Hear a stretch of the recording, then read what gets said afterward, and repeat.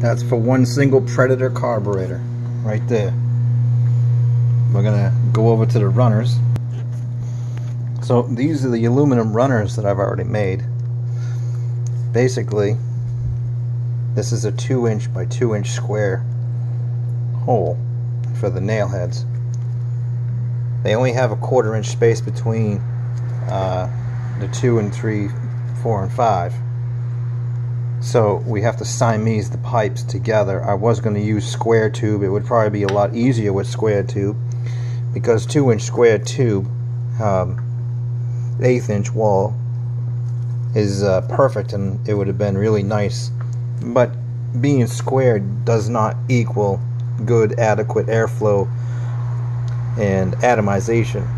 So I chose a 2 inch out diameter 14 gauge aluminum T6061 aluminum or T6 aluminum.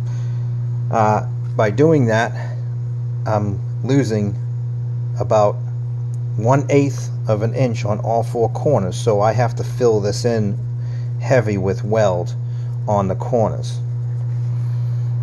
So that's going to be good. We can handle that. By the way, those are uh, half inch thick.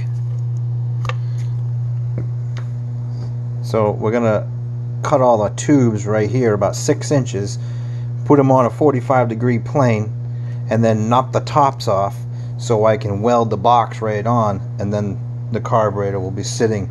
The intake manifold uh, with the um, air cleaner sits right about the same height as this, the bottom of the windshield. So it'll be like right there. It's uh, it's pretty wild. It's pretty wild. Okay, so that's the second video right there. Runners, intake manifold box for a Predator carburetor, fully sheet metal, TIG welded, aluminum. Have a good day.